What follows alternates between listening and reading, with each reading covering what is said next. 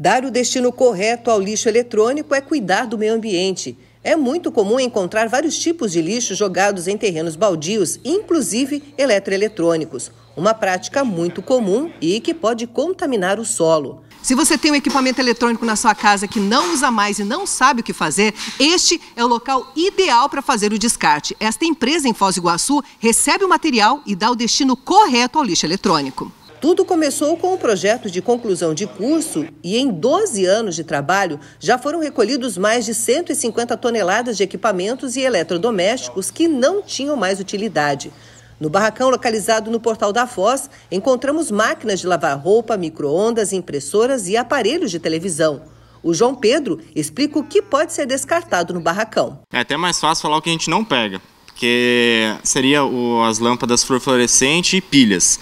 De resto, tudo que for eletrônico, elétrico, você coloca na tomada, tem uma bateria, uma pilha, eletrodoméstico, informática, celular, coisas de redes elétricas, a gente faz a coleta de todos os materiais.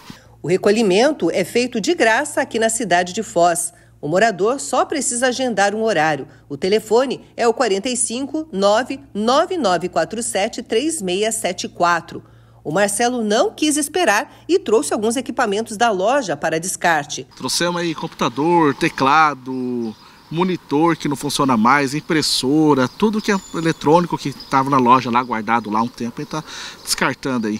Depois que chega aqui, o material passa por uma triagem e é separado em materiais que podem ser reaproveitados ou reciclados. Jean, o que você está fazendo aqui?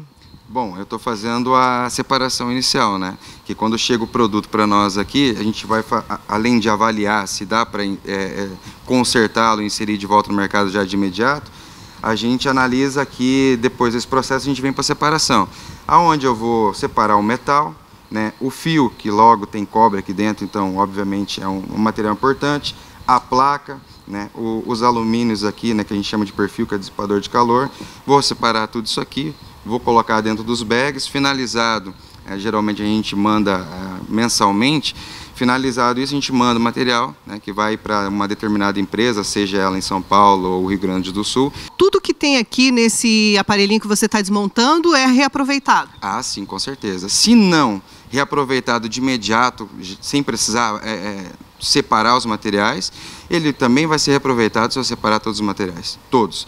A empresa também pensa no social. Já montou e fez a doação de computadores a várias instituições da cidade. Os materiais que não tinham utilidade para uns agora ganham um novo destino. Pelo menos uma vez ao ano a gente faz um projeto de doação. Na pandemia a gente fez uma doação de cinco computadores para o Hospital Municipal aqui de Foz do Iguaçu. A gente sempre está querendo buscar alguma parceria assim, né? Para dar um retorno para a cidade também, né?